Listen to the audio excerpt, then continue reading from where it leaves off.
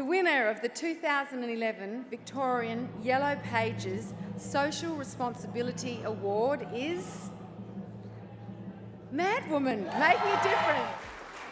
Wow. People say you're mad for starting your own business, so you can imagine what they tell well, you know, what happens when I tell them my business is called Mad Woman. Um, the MAD bit stands for making a difference, so I'm mad and not crazy, but I'm absolutely passionate about what I do, and that is about connecting people with each other and with their communities. Um, I'm probably best known for my um, Single Volunteers event. So the reason I'm actually standing here is because I was looking for a boyfriend. I, um, I couldn't find one. I'm not going to mention names about online things, but you know, there was the guy who told me he was um, athletic, but it was from the neck up. and um, people, um, people say, you know, you, you meet someone when you do something you absolutely love, and I love making a difference. So I decided to do a social experiment about getting a bunch of single guys and a bunch of single girls in a room. And I'm seeing a lot of guys in here tonight, so I'm kind of, people have put in their plugs, I want the single men. Um, and so for me, I started this thing called Single Volunteers, and I did. I met my partner, my fabulous partner Dave, who's in the room tonight.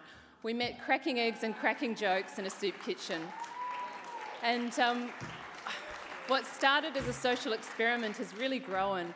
And now I, I, do the most amazing events. You know, I found myself a fantastic guy, and I still spend my entire life looking for single men. Um, but I also run amazing events with businesses where I get them teams working together, making a difference in a tangible social and environmental way. And I literally am in the business of making a difference. And so many people have told me on this journey it's impossible to do what I do. And I do it because I know that it is absolutely possible, and every single business can do something to make a difference. Um, and I look around this room and I know there are people doing incredible things, and I know there is a lot of potential for me to work with a lot of people in this room. Um, I also want to tell people that sometimes it's just showing up that, that gives you an opportunity. And I, I'm known for jumping through windows of opportunity. And I'm loath to admit this, but I wasn't actually going to enter these awards, and I didn't start the application till noon on the last, last day of the um, applications being due. And I copied over, you know, the, the headings. I don't know if anyone else did this, but I copied over to Word the headings and the word count, and did my whole thing. And at about 10:30, I went, "Yes, I've done it."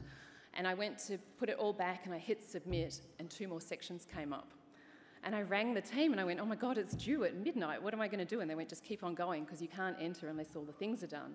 And it was the sections that I did in the last hour that actually got me here. So I just want to say to people if you've got an opportunity to do anything in your life, it's take action.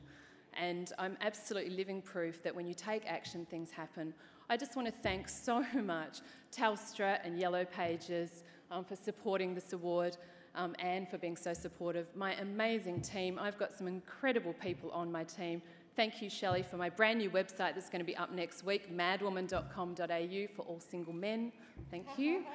Um, and also um, to Emma from Open Family Australia, who actually give me a room to use to run events. So I'm incredibly blessed to have an incredible number of people on my team um, my people, my Madwoman people, we've, we've cooked, it's actually now 65,000 meals um, for homeless people. We've ha- had thousands of people help tens of thousands of others.